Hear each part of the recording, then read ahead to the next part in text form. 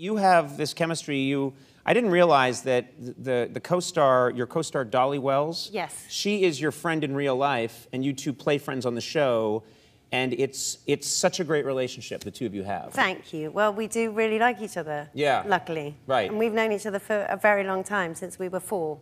That's so nice. I'm not going to tell you how long ago that was, but Yeah, it was yeah. quite a long time But- ago. But you can tell when you watch the show that these two really know each other. Andy and I are actors played to be good friends. That's right. we were hired, we trained for a long time. I'm South African. But he just killed the part, so that's how it worked. So, um, do you? I know that you were using a lot of your own stories from your life, autobiographical stories. Yeah. That you then get people to, to you then work into this show, Yes. Doll and Em. Yes. About your adventures and your adventures with your friend. Have there been any that you haven't gotten to use on the show yet that you want to use? Anything that happened to you in your life that's like that would be great for this show? Yes, there, things happen all the time that we keep thinking, we, you know, if we're lucky enough to do another one, we've got to put in. But there was one that we tried to shoot in the first season that we ended up not having enough time for, um, which actually my husband was going to play the part, and he's the producer on the show, and I think he just didn't want to do it. So he, he said, we didn't have enough time, cut it out. But, But this it was is, this based is, this on... a- something that really happened it to was you. really, it really happened that I, I was, I was in my 20s and I was driving along in my car and realized that there was um, a homeless person asleep on the back seat, who I hadn't noticed when I'd got into my car. Hold on, Let's back it up just a little bit.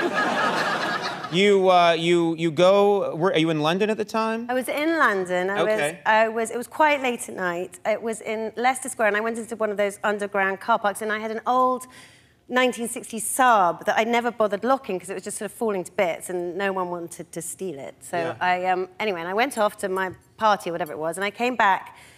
Opened the door, got in, and there was a terrible smell. It's sort of, I guess it was pee and beer or something. And I was kept thinking, God, what is that smell? And I hope it's not me. And I was driving along. Wait a minute. I then- love that you just keep. You just are like, what's that horrible stench of beer and urine? Well, time to go. I just, I, I kept thinking, God, it must be the car park. I don't, and when I got out of the car park, and it was still there, very much there. Yeah. And then I stopped at a red light, and I was thinking, what? And I turned around, and there was a man fast asleep on my back seat. And So he went, came along, was looking for a place to sleep. It's like a bear.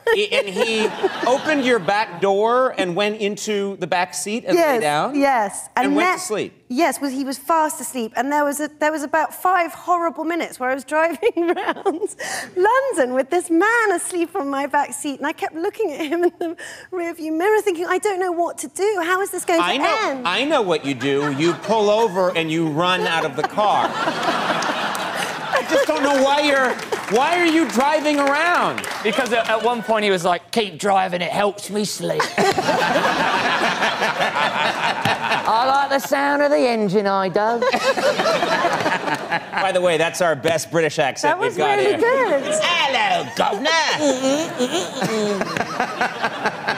so what happened? Eventually, he woke up and he just he sat up and I screamed and he screamed, and I stopped the car and. I mean, I can't really remember, but I, I think I just opened the door and out he got, and that Yeah. was it. Right. He's right. like, well, he's like, well, this is me. Ah, zero, nothing avenue. That's me. That's cruel. I'm sorry. Enjoy the urine smell. Yeah, you I owe was me just for so that. relieved it wasn't me. Yeah. Smelled of pee and beer. You thought, you thought, oh, that whole time at that party, I smelled like beer and I reeked of Exactly. urine. That's the cologne I wear. Uh,